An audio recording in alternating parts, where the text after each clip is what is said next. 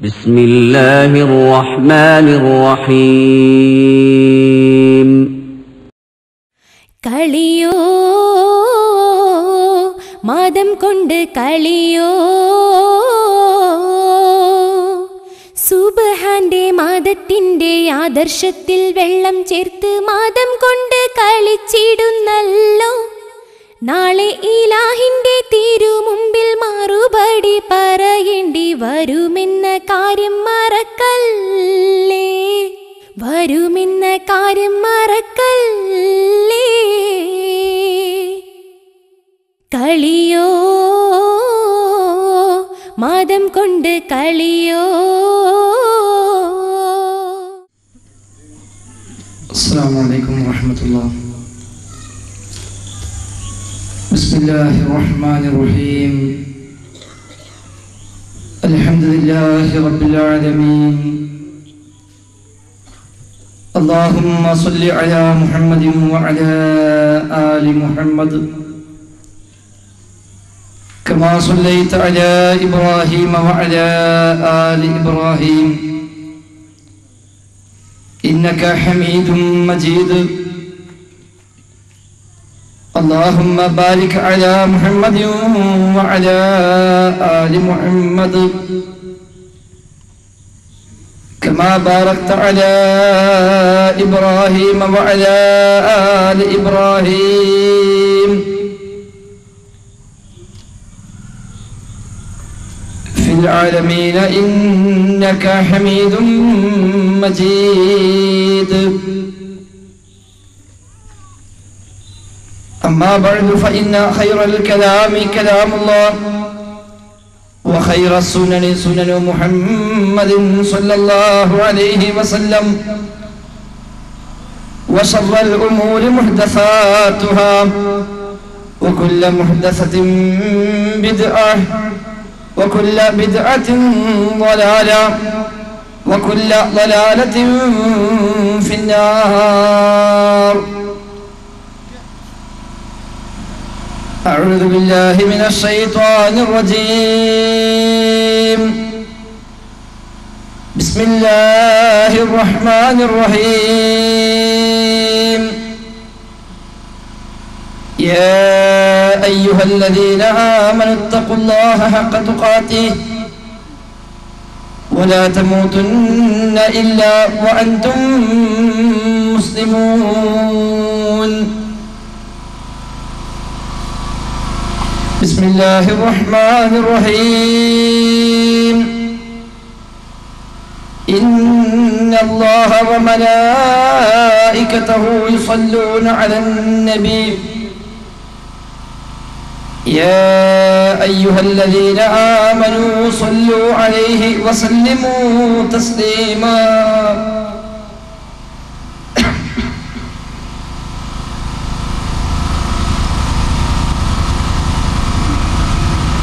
സ്നേഹം നിറഞ്ഞ രക്ഷിതാക്കൾ ജ്യേഷ്ഠാനിയന്മാര് സഹപ്രവർത്തകരെ ശബ്ദം ശ്രദ്ധിക്കുന്ന സഹോദരി സഹോദരന്മാർ അള്ളാഹു സുബാനുഭവത്ത് അലായുടെ വിധി വിലക്കുകൾ കഴിവിന്റെ പരമാവധി ജീവിതത്തിൽ പാലിക്കാൻ ശ്രമിച്ചുകൊണ്ട് മുത്തക്കീകളായി ജീവിക്കണേ എന്ന് ആമുഖമായി ശ്രദ്ധയിൽപ്പെടുത്തുകയാണ് ആ നിലയ്ക്ക് മരണം വരെ തൗഹീദോടുകൂടി ജീവിക്കുകയും കെളിമ ചൊല്ലി ഈമാനോടുകൂടി മരിക്കുകയും ചെയ്യുന്ന ഭാഗ്യവാന്മാരിൽ പടച്ച നമ്മയും കുടുംബത്തെയും ഒക്കെ ഉൾപ്പെടുത്തി അനുഗ്രഹിക്കുമാറാവട്ടെ നാളെ അള്ളാഹുവിന്റെ ജനത്തുൽ ഫിർദൗസിൽ അംബിയാഇന്റെയും മൗലിയാഇന്റെയും സുദീഖുകളുടെയും ശുഹദാഇന്റെയും സ്വാലിഹികളുടെയും കൂടെ ഒരുമിച്ച് കൂടാനുള്ള മഹാഭാഗ്യം നൽകിയ റബ്ബ് നമ്മെയും കുടുംബത്തെയും അനുഗ്രഹിക്കുമാറാവട്ടെ. നമ്മോടൊക്കെ പ്രാർത്ഥിക്കാനായി വസീയത്ത് ചെയ്ത ധാരാളം സഹോദരന്മാർ സഹോദരികൾ അള്ളാഹു സുബാനുഭവത്തായ അവിടെയൊക്കെയും പ്രയാസങ്ങളും പ്രശ്നങ്ങളും ബുദ്ധിമുട്ടുകളും ഒക്കെ ദൂരീകരിച്ച് സമാധാനവും സന്തോഷവും ഒക്കെ അവർക്ക് പ്രദാനം ചെയ്യുമാറാകട്ടെ ദിക്ർ, സ്വലാത്ത് പ്രാർത്ഥന. അഹ്ലുസുന്നയുടെ വീക്ഷണത്തിൽ എന്ന ഒരു ലേബലിൽ നിന്നുകൊണ്ട് സംസാരിക്കുവാനാണ് നിർദ്ദേശിക്കപ്പെട്ടിരിക്കുന്നത്. ഏതൊരു വിഷയവും സ്വർഗത്തിലേക്കുള്ള വഴിയായി അംഗീകരിക്കപ്പെടണമെങ്കിൽ കൂലി കിട്ടുന്ന ഒരു വിവാദത്തായി ഒരു ആരാധനയായി ഇസ്ലാമിൽ അത് സ്വീകരിക്കപ്പെടണമെങ്കിൽ ആ കാര്യം അഹ്ലുസുന്നക്ക് പരിചയമുള്ളതായിരിക്കണം. എന്ന വിഷയത്തിൽ മുസ്ലിം ലോകത്ത് അഭിപ്രായ വ്യത്യാസമില്ല. ഉണ്ടാകേണ്ട ആവശ്യവും ഇല്ല. കാരണം ഹബീബായ മുത്തു മുഹമ്മദ് മുസ്തഫ അലൈഹി വസല്ലമ നൂറ്റാണ്ട് പതിനാല് മുമ്പ് നമ്മെ പഠിപ്പിച്ചു പോയത് ലോകത്ത് ഏതെല്ലാം നിരക്കുള്ള അഭിപ്രായ വ്യത്യാസങ്ങൾ ഉണ്ടായാലും ശരി അതിനിടയിൽ സ്വർഗത്തിലേക്കുള്ള വഴി വളരെ കൃത്യമാണ് എന്നാണ്. നിബിതങ്ങൾ പറഞ്ഞു തലത്തുക്കുന്നതിൽ മഹജത്തിൽ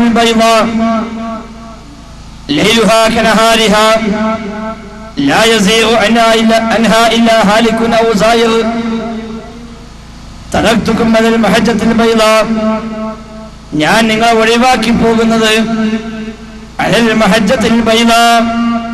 വെളുത്ത തെളിഞ്ഞ ഒരു പാതയിലാണ്. ആ പാതയുടെ പ്രത്യേകത അതിന്റെ രാവ് പകൽ പോലെ തന്നെയാണ്. പകൽ പോലെ പ്രകാശപൂരിതമാണ് അതിന്റെ രാത്രിയും രാവും പകലും ഒരുപോലെ പ്രകാശിക്കുന്ന ശരിയേതാണ് തെറ്റിയേതാണ് എന്നറിയാതെ ഒരിക്കലും ആശയക്കുഴപ്പത്തിൽ ചെന്ന് ചാടേണ്ടതില്ലാത്ത വിധം എല്ലാ വഴികളും കൃത്യമായി പ്രകാശപൂരിതമായ പാത. ആ പാതയിലാണ് ഞാൻ നിങ്ങളെ ഒഴിവാക്കി പോകുന്നത്. അതുകൊണ്ട് ഏതാണ് ശരി എന്താണ് ഹക്ക് എന്ന് ഞങ്ങൾക്ക് മനസ്സിലാകുന്നില്ല എന്ന് പറയേണ്ടുന്ന ആവശ്യമില്ല. ഇസ്ലാമിന്റെ വഴി.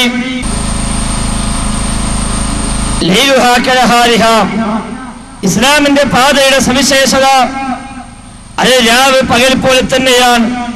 അതുകൊണ്ട് ആ ഇസ്ലാമിന്റെ വഴികളിൽ ഏതാണ് ശരി എന്നറിയാതെ ഏതാണ് തെറ്റി എന്ന് മനസ്സിലാവാതെ തെറ്റിന്റെ വഴിയിലേക്ക് പോകേണ്ട ആവശ്യം വരുന്നില്ല. എല്ലാം കൃത്യമായി പഠിപ്പിക്കപ്പെട്ടിട്ടുണ്ട്. ആ പാതയ്ക്ക് പിൽക്കാലത്ത് വന്ന പേരാണ്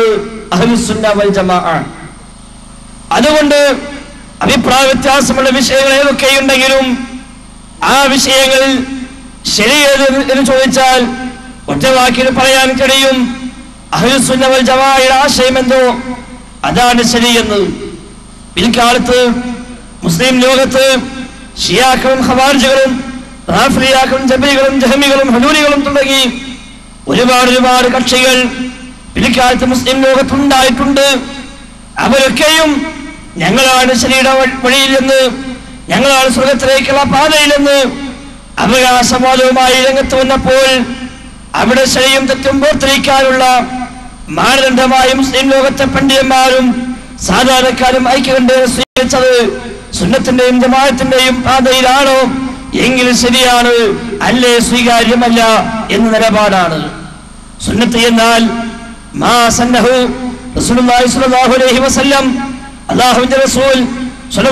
വസല്ലമ എന്താണോ ചന്തയായി കാണിച്ചത് എന്താണോ വഴിയായി പാതയായി പഠിപ്പിച്ചത് അതാണ് സുന്നത്ത്. ജമാഅത്ത് എന്നാൽ അലൈഹി അസ്ഹാബ് റസൂലുള്ളാഹി സ്വല്ലല്ലാഹു അലൈഹി വസല്ലം അല്ലാഹുവിന്റെ റസൂലിന്റെ സ്വഹാബിമാർ ഏകോപിച്ചതെന്തോ? ഇത്തിഫാക്കായോ അതാണ് അൽ ജമാ അതുകൊണ്ട് എന്നാൽ സുന്നത്തിന്റെ കക്ഷി ജമാഅത്തിന്റെ കക്ഷി നബിരങ്ങളുടെ ചര്യ പിൻപറ്റുന്നവര് സ്വഹാബാഖിറാമിന്റെ ഏകോപനം സ്വീകരിക്കുന്നവർ അതാണ് അഹ്ലുസ് സുന്ന വൽ ജമാ പിരിക്കാത്ത അഭിപ്രായ വ്യത്യാസങ്ങൾ ധാരാളം വന്നു. വിശ്വാസരംഗത്ത് ആചാരങ്ങളിൽ അനുഷ്ഠാനങ്ങളിൽ കർമ്മ മേഖലകളിൽ എല്ലാം എല്ലാം ഒരുപാട് അഭിപ്രായ വ്യത്യാസങ്ങൾ പിരിക്കാലത്ത് മുസ്ലിം ലോകത്ത് ഉണ്ടായിട്ടുണ്ട്. അവിടെയൊക്കെയും ശരിയും തെറ്റും തിരിച്ചു മനസ്സിലാക്കാൻ മുസ്ലിം ലോകം ഐക്യകണ്ഠേന അംഗീകരിച്ച നിലപാട് ആ സുന്നത്തിനോടും ജമാഅത്തിനോടും അതിനെ തട്ടിച്ചു നോക്കുക എന്നതായിരുന്നു. നമ്മുടെ നാടുകളിൽ ഇന്ന് ഒരുപക്ഷെ ഏതെല്ലാം അഭിപ്രായ വ്യത്യാസങ്ങൾ വന്നാലും ഏതെല്ലാം വിശ്വാസങ്ങളും ആചാരങ്ങളും സ്വീകരിക്കുന്നവരാണെങ്കിലും ശരി. അവരൊക്കെയും പറയുന്നു അവകാശപ്പെടുന്നു ഞങ്ങളുടെ വഴിയാണ് സുന്നത്തിന്റെ വഴി ജമാഅത്തിന്റെ വഴി എന്ന് അല്ലാത്തവരാരും സുന്നത്തമായത്തല്ല പുത്തൻവാദികളാണ് പുത്തൻ ആശയക്കാരാണ്. അവരുമായി ബന്ധങ്ങൾ പോലും പാടില്ലാത്തവരാണ് എന്ന രീതിയിൽ സമുദായത്തിന് പ്രചാരണങ്ങൾ വന്നുകൊണ്ടിരിക്കുന്നു. എങ്കിൽ ഏതേത് വിഷയങ്ങളിലും ഏതാണ് ഹക്കേത് മനസ്സിലാക്കാൻ ഉള്ള എളുപ്പമാർഗമാണ് സുന്നത്ത് ജമാഅത്ത് എന്ന് പേര് പറഞ്ഞാൽ പോരാ. പകരം ആ ചെയ്തി സുന്നത്തിൽ ഉണ്ടോ ജമാഅത്തിലുണ്ടോ എന്ന് പരിശോധിക്കുകയാണ് വേണ്ടത്. എമിരങ്ങൾക്ക് പരിചയമുണ്ടെങ്കിൽ സുന്നത്തിൽ ഉണ്ടെങ്കിൽ അത് ചെയ്യുന്നവരാണ് ശരിയായ പാതയിൽ. സ്വഹേബാക്കിറാം ഏകോപിച്ച് ചെയ്ത പഠിപ്പിച്ച അധ്യാപനങ്ങളിൽ അത് കാണാനാകുമെങ്കിൽ അത് ചെയ്യുന്നവരാണ് ശരിയായ വഴിയിൽ. അതല്ല എമിരങ്ങൾക്ക് പരിചയമില്ല സ്വഹേബാക്കിറാമിനും പരിചയമില്ല. പിൽക്കാലത്ത് ഉണ്ടായതാണ് എന്നാലും പുതിയ കാര്യമാണ്. എന്നാണ് പറയുന്നതെങ്കിൽ അത് സ്വർഗത്തിലേക്കുള്ള പാതയല്ല. അത് ശരിയായ വഴിയും അല്ല. എങ്കിൽ ഇന്ന് ചർച്ച ചെയ്യ- ചെയ്യപ്പെടേണ്ടത് ദിക്ർ സ്വലാത്ത് പ്രാർത്ഥനയുമായി ബന്ധപ്പെട്ടാണ്. ഈ മൂന്ന് വിഷയങ്ങളിൽ അഹ്ലുസുന്ന എന്തു പറയുന്നു? നമ്മുടെ നാടുകളിൽ ഇന്ന് സുന്നത്തമാത്തിന് ആളുകളാണ് എന്ന് അവകാശപ്പെട്ടുകൊണ്ട് രംഗത്ത് വരുന്ന ആളുകൾ അവിഷയമായി ഇവിടെയാണ് എത്തിയിരിക്കുന്നത്. നബിലകൾക്കും സഹബാക്കിറാമിനും പരിചയമില്ലെന്ന് മാത്രമല്ല ശേഷം വന്ന താപികൾക്കും തമിഴ് താപികൾക്കും അതേപോലെ അഹ്ലുസുന്നയുടെ ആധികാരികരായ പണ്ഡിതന്മാരിൽ ഒരാൾക്ക് പോലുമോ പരിചയമില്ലാത്ത കഴിഞ്ഞ അൻപതോ നൂറോ നൂറ്റമ്പതോ കൊല്ലങ്ങൾ മാത്രമായി നമ്മുടെ നാടുകളിൽ പലരും സ്വന്തം വകയായി കെട്ടിക്കൂട്ടിയുണ്ടാക്കി പ്രചരിപ്പിച്ച ചില പുതിയ പുതിയ ലിക്കറുകൾ പുതിയ ദുആകൾ പുതിയ സ്വലാത്തുകൾ അതേപോലെയുള്ള പുതിയ രീതികൾ അതൊക്കെയും ജീവിതത്തിൽ പാലിക്കുകയും അതേസമയം ഞങ്ങളാണ് സുന്നത്തമാത്ര കക്ഷികൾ എന്ന് അവകാശവാദം ഉന്നയിക്കുകയും ചെയ്യുന്നതാണ് ഇന്ന് നമുക്ക് കാണാൻ സാധിക്കുന്നത്. ഏതേത് വിഷയത്തിലും ഏത് വിഷയമാണെങ്കിലും ശരി നബിരങ്ങൾക്ക് പരിചയമില്ലാത്ത സ്വഹേബാക്കിറാം നബിയിൽ നിന്ന് കെട്ടുപടിച്ച ജീവിതത്തിൽ പാലിച്ചതല്ലാത്ത ഒരു പുതിയ വഴി ആരൊക്കെ കൊണ്ടുവന്നാലും ശരി അത് സ്വീകാര്യമല്ല. നബിരങ്ങൾ പറഞ്ഞു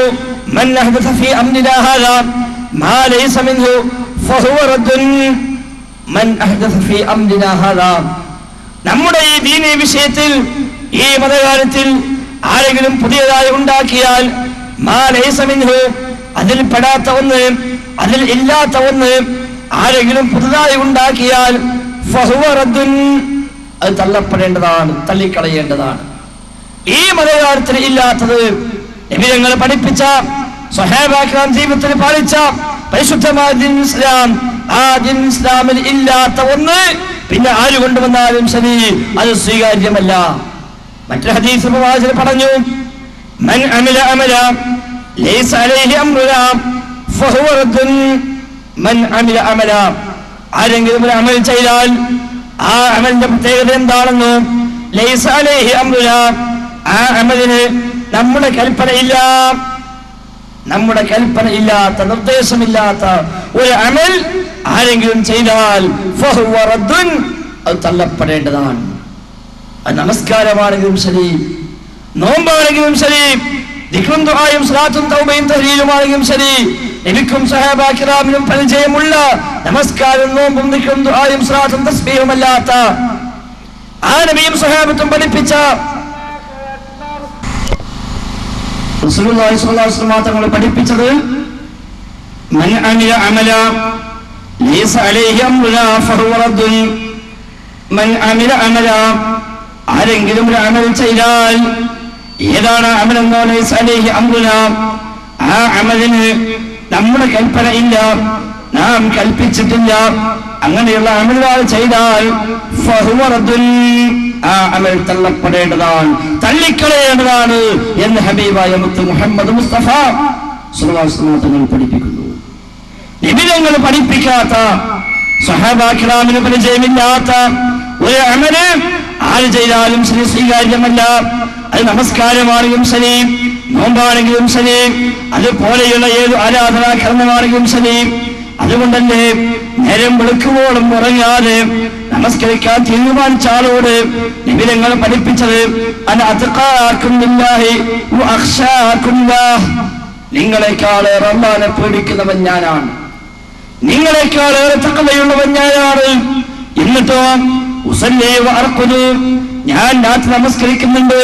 ഞാൻ രാത്രി ഉറങ്ങുന്നുമുണ്ട് നേരം വെളുക്കുമ്പോൾ നമസ്കാരമില്ല നേരം വെളുക്കുവോളം ഉറങ്ങുന്നുമില്ല ഉറക്കമുണ്ട് നമസ്കാരമുണ്ട് എനിക്ക് അതുകൊണ്ട്.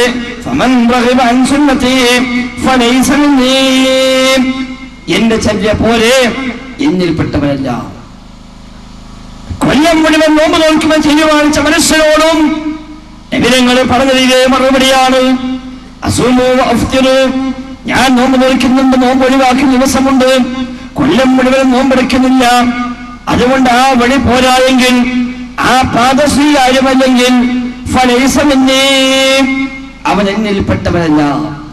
വിവാഹം പോലും കഴിക്കാതെ ജീവിതം മുഴുവൻ വിവാദത്തിന് മാത്രമായി മാറ്റിവെക്കാൻ തീരുമാനിച്ചവനോടും ഹബീബിന്റെ മറുപടി ഞാൻ സ്ത്രീകൾ വിവാഹം കഴിക്കുന്നുണ്ട്. ഫമൻ റഗബ അൻ സുന്നത്തി എന്റെ ആ സുന്നത്ത് പോരായെങ്കിൽ എന്റെ ഈ നടപടിക്രമം എന്റെ ഈ ചര്യ അത് നിങ്ങൾക്ക് സ്വീകാര്യമല്ലെങ്കിൽ എന്നിൽപ്പെട്ടവനല്ല. അപ്പൊ ഏതാണെങ്കിലും ശരി എവിടങ്ങൾ പഠിപ്പിച്ച വഴിയുണ്ട് താഴെയുണ്ട് അതിൽ ഇല്ലാത്ത ഒന്ന്. എവിടങ്ങളുടെ പിൻബലമില്ലാത്ത ഒന്ന്. എവിടങ്ങൾ കൽപ്പിക്കാത്തൊരു അമൽ. ആ അമൽ ആര് ചെയ്താലും ശരി. അതിനാണ് ഇസ്ലാമിൽ ബിദ്അത്ത് എന്ന് പറയുക. ആ ബിദ്അത്ത് ആവട്ടെ സ്വീകാര്യമല്ല തള്ളപ്പെടേണ്ടതാണ് ഇത് മുജാഹിദുകൾ സ്വന്തമായി കണ്ടെത്തി ഗവേഷണം ചെയ്ത ഒരു വിഷയമല്ല എന്ന് മനസ്സിലാക്കാൻ വേണ്ടി മാത്രം ഈ വിഷയം സാക്ഷാൽ പേരോട് മുസ്ലിയാർ തന്നെ നിങ്ങളെ കേൾപ്പിക്കും. എങ്കിൽ ബോധ്യമാകുമല്ലോ. ഇത് പൊതുവായ ഒരു വിഷയം തന്നെയാണ് എന്ന് അദ്ദേഹം പറയട്ടെ. ശ്രദ്ധിക്കുക നിങ്ങൾ. കർമ്മങ്ങളിൽ റസൂലുള്ളാഹി സല്ലല്ലാഹു അലൈഹി വസല്ലമ തങ്ങളെ ജീവിതത്തിൽ കൊണ്ടുവരേണ്ടത്? അത് മാറ്റം വരുത്തുന്നതിനല്ലേ വിദേഹത്ത് എന്ന് പറയുന്നത്? ഇസ്ലാമിന്റെ കർമ്മങ്ങൾ അള്ളാഹുവിന്റെ റസൂൽ കൊണ്ടുവന്നത് മാറ്റം വരുത്തുന്നതല്ലേ വിദേഹത്ത് എന്ന് പറയുന്നത്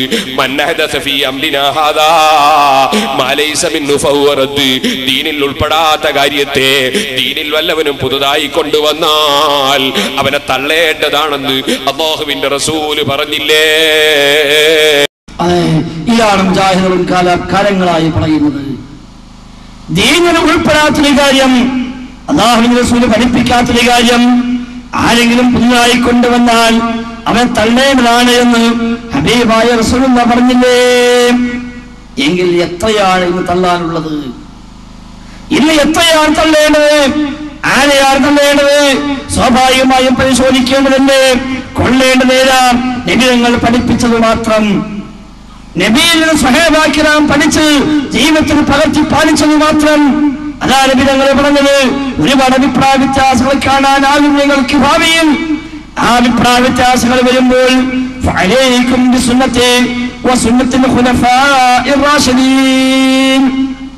എന്റെ ചര്യയും എന്റെ റാഷിദിന്റെ ചര്യയും മഹദീയങ്ങളായ നേർമാർഗം ശ്രദ്ധിച്ച എന്റെ റാഷിദുകൾ ആ ഖലീഫമാരുടെ ചര്യയുമാണ് നിങ്ങൾ ജീവിതത്തിൽ പാലിക്കേണ്ടത് പിൻപറ്റേണ്ടത് എന്നല്ലേ നിബിധങ്ങൾ പഠിപ്പിച്ചത് അതേപോലെ എഴുപത്തിമൂന്ന് കക്ഷിയായി മാറുമ്പോ എഴുപത്തിരണ്ടെന്ന ഇടത്തിലേക്കാണെന്നും ഒന്ന് മാത്രം സ്വർഗത്തിലേക്കാണെന്നും പഠിപ്പിച്ചപ്പോ ഏതാ റസൂലെ സ്വർഗത്തിലേക്കുള്ള ഒന്ന് എന്ന ചോദ്യത്തിന് എന്താ ഹബീബിന്റെ മറുപടി.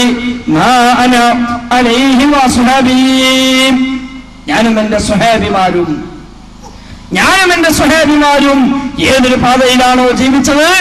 ആ പാതയിൽ ജീവിക്കുന്നവർ ആ പാത സ്വീകരിക്കുന്നവർ അവരാണ് സ്വർഗത്തിലേക്കുള്ള കക്ഷി. അല്ലാത്തതൊക്കെയും കുഞ്ഞും ഫിന്നാർ എല്ലാം നരകത്തിലേക്ക് തന്നെ. അതുകൊണ്ട് ആ നിബിതങ്ങളുടെ പ്രസംഗങ്ങൾ ഹുത്തുബകൾ എല്ലാം ആരംഭിക്കുമ്പോൾ ആമുഖമായി നിബിതങ്ങൾ എപ്പോഴും ഓർമ്മിപ്പിക്കാറുണ്ട്. ഹദി ഹദി മുഹമ്മദിൻ സല്ലല്ലാഹു അലൈഹി വസല്ലം. ചര്യകളിൽ വെച്ച് ഏറ്റവും ഹൈറായത് ഏറ്റവും നല്ല ചര്യ മുഹമ്മദ് നബിയുടെ ചര്യയാണ് കാര്യങ്ങൾ. ഏറ്റവും സർവായത് ഏറ്റവും ദുഷിച്ചത് പുതുതായി ഉണ്ടാകുന്ന കാര്യങ്ങളാണ്. അങ്ങനെ ഉണ്ടായി വരുന്ന കാര്യങ്ങളോ അങ്ങനെ പുതുതായി ഉണ്ടായി വരുന്ന കാര്യങ്ങളൊക്കെയും വിദഗ്ധകൾ തന്നെയാണ്. ബിദ്അത്തുകൾ മുഴുവനും വഴികേടുമാണ്. എങ്കിൽ ഇന്ന് മുസ്ലിം സമുദായത്തിൽ ഏറ്റവും അധികം വിദഗ്ധകൾ കയറി വന്ന മേഖലയാണ് സ്വലാത്തിന്റെയും ദിക്കറിന്റെയും ദുബായുടെയും മേഖല എന്നതുകൊണ്ടാണ് ആ വിഷയം പ്രത്യേകമായി തന്നെ ചർച്ചക്കെടുക്കാൻ മുജാഹിദുകൾ നിർബന്ധിതരായത്. സ്വലാത്തും ദിക്കറും ദുബായുടെയും മഹത്വം ഇത്തരം ഒരു ചെറിയ വേദി വെച്ച് പടന്നറിയിക്കാൻ മാത്രം ചെറുതല്ല. അതിനേക്കാളത്തെ എത്രയോ അപ്പുറത്ത് ധാരാളം ആയത്തുകൾ ധാരാളം ഹദീസുകളാണ് ദിഖറിന്റെ പ്രാധാന്യം പഠിപ്പിക്കുന്ന ദുആയുടെ പ്രാധാന്യം പഠിപ്പിക്കുന്ന സ്വലാത്തിന്റെ മഹത്വം പഠിപ്പിക്കുന്നതായി പ്രമാണം സ്ഥിരപ്പെട്ടത് ഞാൻ ആമുഖമായി ഓതി വെച്ചല്ലോ സൂത്ര ഹസാബിന്റെ വചനം إن الله وملائكته يصلون على النبي يا أيها الذين آمنوا صلوا عليه وسلموا تسليما സൂത്ര ഹസാബ് എന്ന് പഠിപ്പിക്കുകയാണ് അല്ലാഹും അവന്റെ വസല്ലം തങ്ങൾക്ക് സ്വലാത്ത് ചൊല്ലിക്കൊണ്ടിരിക്കുന്നു അല്ലെങ്കിൽ സ്വലാത്ത് ചെയ്തുകൊണ്ടിരിക്കുന്നു ഗുണം ചെയ്തുകൊണ്ടിരിക്കുന്നു. അള്ളാഹുവിന്റെ സ്വലാത്ത് എന്ന് പറഞ്ഞാൽ അള്ളാഹു ഗുണം ചെയ്യുന്നു അനുഗ്രഹം ചൊരിയുന്നു. മലക്കുകളുടെ സ്വലാത്ത് എന്ന് പറഞ്ഞാൽ ആ ഗുണത്തിന് വേണ്ടി അവൻ തേടിക്കൊണ്ടിരിക്കുന്നു പ്രാർത്ഥിച്ചുകൊണ്ടിരിക്കുന്നു. അതുകൊണ്ട് ആമനൂ സത്യവിശ്വാസികളെ സല്ലൂ അലൈഹി വസല്ലിമൂ തസ്ലീമാ നിങ്ങൾ ആ നിബിതങ്ങൾക്ക് സ്വലാത്തും സലാമിനെയും ചോദിക്കണേ രക്ഷയെയും അനുഗ്രഹത്തെയും ചോദിക്കണേ എന്ന് ഖുർആനാ പഠിപ്പിച്ചത് നിബിതങ്ങളും പറഞ്ഞു من صلى عليه صلاة صلى الله عليه بها أشرا എന്റെ പേരിൽ ആരെങ്കിലും ഒരു സ്വലാത്ത് ചൊല്ലിയാൽ പത്തിരട്ടി പുണ്യമാണ് പത്ത് സ്വലാത്താണ് പണച്ചറപ്പവർ നൽകിക്കൊണ്ടിരിക്കുന്നത് അവന് പകരമായി കൊടുത്തുകൊണ്ടിരിക്കുന്നത് മാത്രവുമല്ല നിബിധങ്ങൾ തന്നെ പഠിപ്പിച്ചത് അൽ ഒരാളുടെ മുമ്പിൽ വെച്ച് എന്റെ പേര് പറയപ്പെട്ടിട്ട് അവൻ സുനാത്ത് ചൊല്ലിയില്ലേ? എങ്കിൽ അവരാണ് പിശുക്കൻ. ഏറ്റവും വലിയ പിശുക്കനാരാന്ന് ചോദിച്ചാൽ ഹബീബിന്റെ പേര് കേട്ടിട്ട് ആ ഹബീബിന് വേണ്ടി ഗുണം ചോദിക്കാത്ത സ്വരാത്തിനെ ചോദിക്കാത്ത ആളാരാണോ? അവനാണ് ബഹീൽ പിശുക്കൻ ഹബീബായ മുത്ത് മുഹമ്മദ് മുസ്തഫ അലൈഹി വസല്ലം. മാത്രവുമല്ല ഒരു പടി കൂടി കടന്നുകൊണ്ട് ആ നിബിധങ്ങളെ പ്രാർത്ഥിച്ചു. മെമ്പറിൽ വെച്ചാണ് പ്രാർത്ഥന. ആമയം പറഞ്ഞ സുഹേബാക്കലാമാണെന്ന് ചില ഹദീസുകളിൽ വളച്ചത് റിപ്പോർട്ടുകളിൽ ജിബിലെ സാത്തു വസ്സലാം എന്ന് പ്രാർത്ഥിച്ചു. നിബിധങ്ങൾ ആമയം പറഞ്ഞു വന്നാ വന്നത്. രണ്ടായാലും തള്ളിക്കളയേണ്ടതെല്ലാം ഗൗരവമായി കാണേണ്ട തന്നെയാണ്. എന്താണ് ആ പ്രാർത്ഥനയെന്ന്?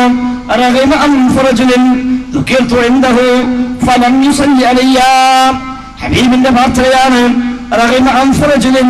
ഒരു മനുഷ്യൻ തുലയട്ടെ നശിക്കട്ടെ എന്താണ് അയാൾ ചെയ്തതെന്ന് അവന്റെ മുമ്പിൽ വെച്ച് എന്റെ പേര് പറയപ്പെട്ടു. പക്ഷേ ഫലം അവൻ സ്വലാത്ത് ചൊല്ലിയില്ല. എന്റെ പേര് പറയപ്പെട്ടിട്ട് സ്വലാത്ത് ചൊല്ലാത്ത മനുഷ്യനുണ്ടോ എങ്കിൽ അവൻ തുലയട്ടെ അവൻ നശിക്കട്ടെ എന്ന് ഹബീബ് പ്രാർത്ഥിക്കുന്നു. ചില റിപ്പോർട്ട് പ്രകാരം മുഖറബുൽ അല്ലാക്ക് മലക്ക് പ്രാർത്ഥിക്കുകയാണ്. ദുഃഖിർത്ത ഫലം യുസല്ലി അലൈക.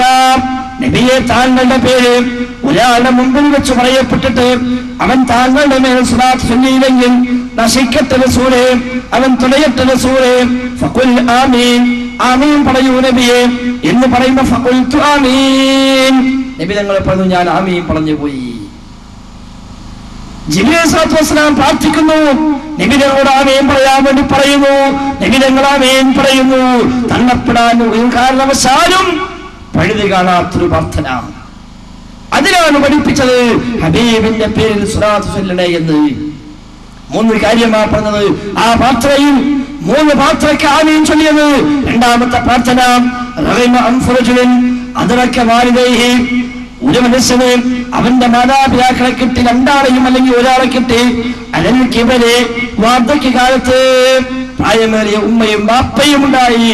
അല്ലെങ്കിൽ രണ്ടാളുണ്ടായി എന്നിട്ട് അവന് സ്വർഗത്തിൽ പോകാനായില്ലെങ്കിൽ സ്വർഗം കിട്ടിയില്ലെങ്കിൽ നശിക്കട്ടെ അവൻ തുലയട്ടെ അവൻ പറയൂ ആമീൻ. എന്ന് ജമീൽ പറയുമ്പോൾ ആമീൻ. ഞാൻ ആമീൻ പറഞ്ഞു ഹബീബായ മുത്ത് മുഹമ്മദ് മുസ്തഫ സല്ലല്ലാഹു അലൈഹി വസല്ലം. മൂന്നാമത്തെ പ്രാർത്ഥന റമദാൻ മാസം കിട്ടിയിട്ട് ആ റമദാൻ മാസം കഴിഞ്ഞു പോകുമ്പോഴും പാപങ്ങൾ ബാക്കിയുണ്ടെങ്കിൽ പാപങ്ങൾ പുറത്തു പോയിട്ടില്ല എങ്കിൽ ഒരു റമദാൻ മുഴുവൻ കിട്ടിയിട്ട് അത് ഉപയോഗപ്പെടുത്താൻ കഴിയാത്തവൻ തുലഞ്ഞു പോകട്ടെ നശിക്കട്ടെ അവൻ പ്രാർത്ഥിക്കുന്നു ഇസ്ലാം. ആമയും പറയുന്നു ഹബീബായ മുത്ത്. സഹോദരന്മാരെ ഗൗരവമായി കാണേണ്ട വിഷയമാണ്.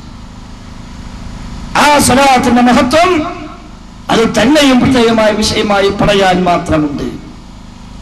പക്ഷെ ആ സ്വലാത്തിന് ഇത്രയേറെ മഹത്വം പഠിപ്പിച്ചത് കൊണ്ട് സ്വാഭാവികമായും വിശ്വാസികളായ ആളുകളെ ഏറ്റവും അധികം ബഹുമാനത്തോടെ ആദരവോടെ കാണുന്ന ഒന്നായിരിക്കുമെന്ന ബോധ്യമുള്ളതിനാൽ ആ രംഗത്ത് പുരോഹിതന്മാർ ഒരുപാട് ഒരുപാട് തിരികെ കയറ്റി പുതിയ രീതികളും ഭാവങ്ങളും അതേപോലെ ഉള്ളതിൽ തന്നെ പുതിയ പുതിയ ചേലും കോലും എണ്ണവും വണ്ണവും ഒക്കെ സ്വന്തമായി ഉണ്ടാക്കി സ്വന്തമായി അതിന് പ്രാധാന്യവും കൂലിയുമൊക്കെ സ്വന്തമായി വാഗ്ദാനം ചെയ്ത് അതിന്റെ പേരിൽ സമുദായത്തെ ചൂഷണം ചെയ്യുന്ന രീതി ആരംഭിച്ചു. ഇന്ന് സ്വലാത്ത് എന്ന് പറഞ്ഞാൽ സ്വതന്ത്രമായി ഒരു ആരാധനാകരണമായി ആ സ്വലാത്ത് നിർവഹിക്കുന്ന ആളുകളെ എണ്ണം കുറഞ്ഞുകൊണ്ടിരിക്കുന്നു. ഇന്ന് സ്വലാത്തപ്പഴ ഒന്നുകിൽ വ്യാഴാഴ്ച തോറും അപ്പുറത്തേക്ക് പോകുന്നു സ്വലാത്തിന്. അല്ലെങ്കിൽ തിങ്കളാഴ്ച തോറും അപ്പുറത്തൊരു പള്ളി സ്വലാത്തിന്റെ അവിടെ പോകുന്നു. അല്ലെങ്കിൽ ആ മാസത്തിലൊരിക്കൽ മലപ്പുറം മേൽമുറിയിൽ ഒരു ഡ്യൂപ്ലിക്കേറ്റ് ബുഖാരി ഉണ്ട് അയാൾ സ്വലാത്തുണ്ടാക്കുന്നു അവിടെ പോകുന്നു. ഇങ്ങനെ ഏതെങ്കിലും പള്ളിയിൽ ആഴ്ചയിലോ മാസത്തിലൊക്കെയായി പ്രത്യേകമായി തട്ടിക്കൂട്ടിണ്ടാക്കുന്ന പ്രത്യേകമായ സ്വലാത്തുകൾ അതിൽ പങ്കെടുക്കുന്നത് സ്വലാത്തായി ആളുകൾ പരിഗണിക്കുന്നുള്ളൂ. ഇനി അല്ലാത്ത സ്വലാത്ത് ജീവിതത്തിലെ സ്ഥിരമായി പ്രാമുഖ്യമാക്കുന്ന ആളെ കണ്ടാൽ ചോദിച്ചു നോക്കുക എന്റെ സുഹൃത്തെ നീ എപ്പോഴും സ്വലാത്ത് നിന്നു അയാളെ പറയും അത് മറ്റേ ബീവി പറഞ്ഞതാ ഒരു ലക്ഷം സ്വലാത്തല്ല ഈ തങ്ങൾ പറഞ്ഞതാ മറ്റേ മുസ്ലിയാര് പറഞ്ഞതാ എന്റെ മാന നഷ്ടപ്പെട്ടപ്പോൾ എന്റെ കുട്ടിയെ കാണാതെ പോയപ്പോൾ ജോലി ശരിയാവാതിരുന്നപ്പോൾ മക്കൾക്ക് വിവാഹം ശരിയാകാതെ പോയപ്പോൾ രോഗം കൊണ്ട് പ്രയാസപ്പെട്ടപ്പോൾ അതേപോലെ വിസ കിട്ടാതെ വന്നപ്പോൾ പ്രയാസം കട്ടപ്പാടും നിങ്ങളുടെ മീത ഒന്നായി വന്നപ്പോൾ ഞാൻ തങ്ങളെ പോയി കണ്ടു ശേഖരെ പോയി കണ്ടു മുസ്ലിയാരെ പോയി കണ്ടു ബീവിയെ പോയി കണ്ടു. അയാൾ എന്നോട് പറഞ്ഞതാണ് ഈ സ്വലാത്തു ലക്ഷം ചെല്ലണമെന്ന് രണ്ട് ലക്ഷം ചെല്ലണമെന്ന് ആ ഷെയ്ഖിന്റെ ഓർഡർ എന്ന് പറഞ്ഞു ഒരു ഷെയ്ഖ് ഏൽപ്പിച്ചു കൊടുത്തെങ്കിൽ മാത്രം ചെല്ലുന്ന അതല്ലാതെ ജീവിതത്തിലൂടെ നീളം സ്വലാത്ത് ചറ്റയാക്കി മാറ്റുന്ന അത് വിമാനത്തായി കാണുന്ന ഉയർത്തുന്നത് മുസ്ലിം സമുദായം പിറകോട്ട് പോന്നു പോന്നു എന്നുള്ള സമുദായത്തെ കൊണ്ടുപോന്നു.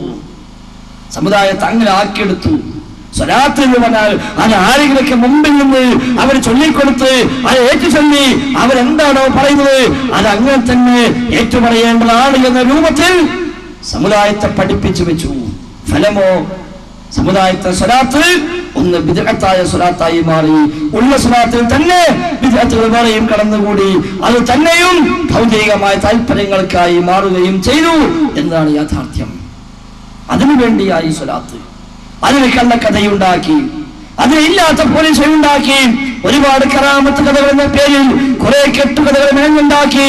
അതിനുവേണ്ടി പ്രത്യേകം വേണി ഉണ്ടാക്കി അവസാനം റമദാൻ മാസത്തിന് പോലും സ്വലാത്തിൽ നിന്നെപ്പോഴാ അത് എവിടെ പാടത്ത്? ഇവിടുന്ന് മേൽമുറിക്ക് യാത്ര ചെയ്യണമെങ്കിൽ ബസ്സിൽ കയറി പോകുന്ന മനുഷ്യന് ഏകദേശം ഒരു മണിക്കൂർ യാത്ര ചെയ്യേണ്ടതുണ്ട്.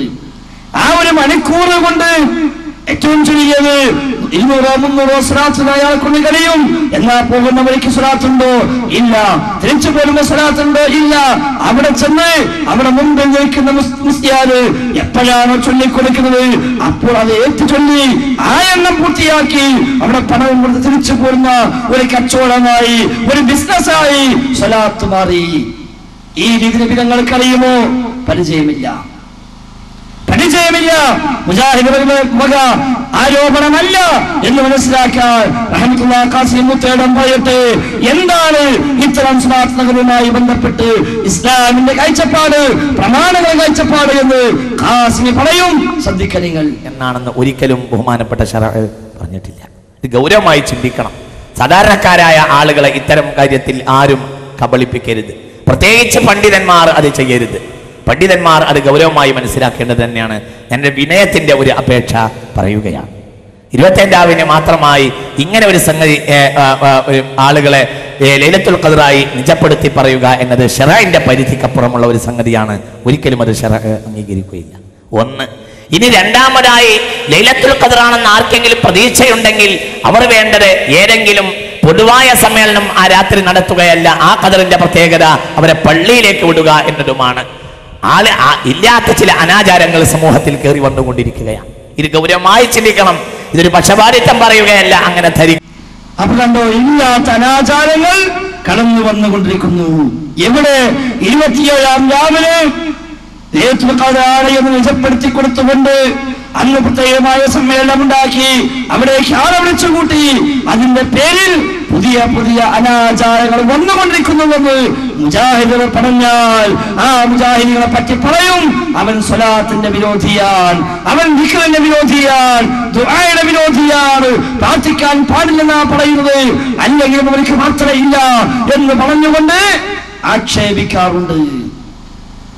പക്ഷേ റഹ്മത്തുള്ള കാസിമിയാണല്ലോ പറഞ്ഞത്. ഇത് അനാചാരമാണ്. അത്തരം അനാചാരം ഉണ്ടാക്കിക്കൂടാ. ആളുകളെ വഞ്ചിച്ചുകൂടാ. പ്രത്യേകിച്ച് പണ്ഡിതന്മാർ ചെയ്യാൻ പാടില്ല എന്ന് റഹ്മത്തുള്ള കാസി പറഞ്ഞു. പക്ഷെ ഖാസിമിയും കുറച്ച് കാലം കഴിഞ്ഞപ്പോ തുടങ്ങിയതൊക്കെ അത് മറ്റൊരു വിഷയം ഞാൻ കാണിക്കാൻ മതി അപ്പൊ ഈ രൂപത്തിൽ നിമിതങ്ങൾ പഠിപ്പിച്ച സ്വഹാഭാഗ്യം ജീവിതത്തിൽ പാലിച്ച ദീനിൽ കാണാൻ കഴിയാത്ത ചില പുതിയ രീതികൾ സ്വലാത്തിന്റെ മറവിൽ വന്നു. അങ്ങനെ നാൾക്ക് നാളെന്നോണം പുതിയ പുതിയ സ്വലാത്തുകൾ ഓരോന്നോരോന്നായി രംഗത്ത് വന്നു ഓരോരുത്തരുണ്ടാക്കി വിടുക. അത് ആര് ഏതുണ്ടാക്കിയാലും അതൊക്കെയും സ്വലാത്തായി പരിഗണിക്കുന്ന സാഹചര്യം ഇത് താജു സ്വലാത്ത് എന്ന പുസ്തകമാണ് താജു സ്വലാത്ത് എന്താ കൊടുത്തത്? നബിസ്വലാസ്ലമാ തങ്ങളെ സ്വപ്നത്തിൽ കാണാനുള്ള സ്വലാത്തുകൾ എന്നാണ്.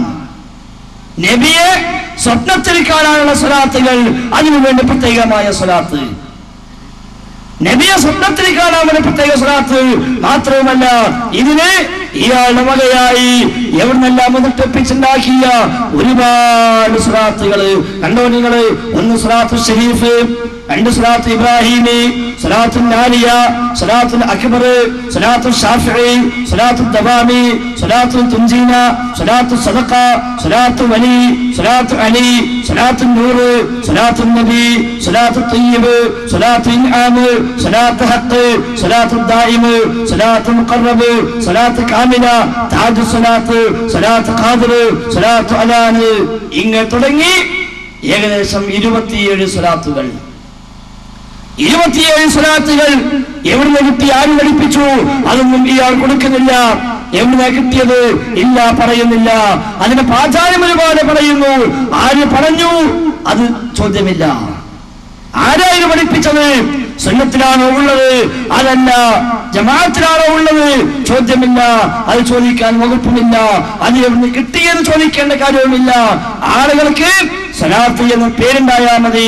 എങ്കിൽ തന്നെ ആളുകൾ സ്വീകരിച്ചു കൊള്ളും ഒരാൾ വന്നിട്ട് കിഴക്കോട്ട് തിരിഞ്ഞു തലമുത്തി മടഞ്ഞിട്ട് ഞാൻ നിസ്കരിച്ചു എന്ന് പറഞ്ഞാൽ ആരെങ്കിലും സ്വീകരിക്കുമോ? ഒരാൾ പകൽ സമയം പട്ടിണി കിടന്നു.